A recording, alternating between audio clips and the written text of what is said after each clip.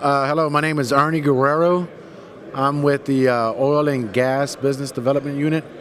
What we're showing here is a two-phase measurement with a Coriolis, uh, the Yokogawa Rotamass meter.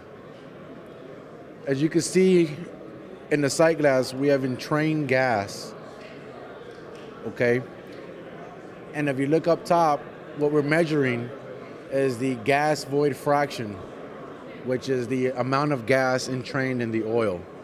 At this point, we have a 4.1% gas entrainment.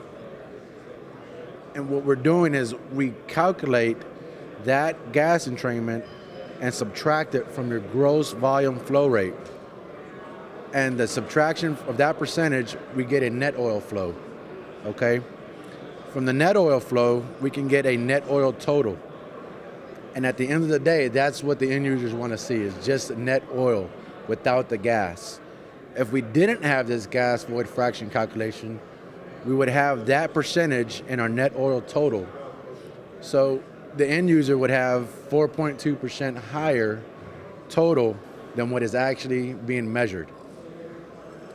The, uh, the oil is being sent to holding tanks and they're getting the level measurement off of that tank.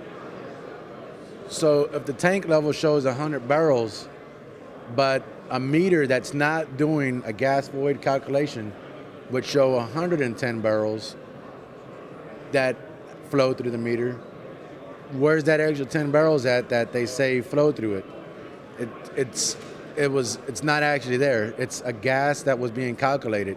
So we're able to do a, a two-phase gas measurement and, and calculate that gas in the oil and subtract it from the net oil total. And that is actually what the end users want to see. The uh, with with this type of measurement, with the proper application, proper input data into our meter, we can get accuracies within one percent of the totals being calculated for the tank levels. Thank you.